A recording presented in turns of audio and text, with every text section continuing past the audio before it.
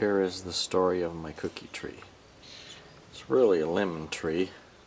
Gotta pick up some more lemons. But this year in particular it had a whole lot of lemons. So I was able to get cookies, trade lemons for cookies, pumpkin bread, uh, banana banana nut bread, oranges. Uh, someone else had an orange tree. So this was my orange tree too. And I also got a pepper plant.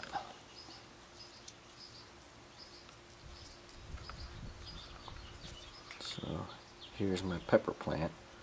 Hopefully I'll get some peppers. These are little red hot peppers.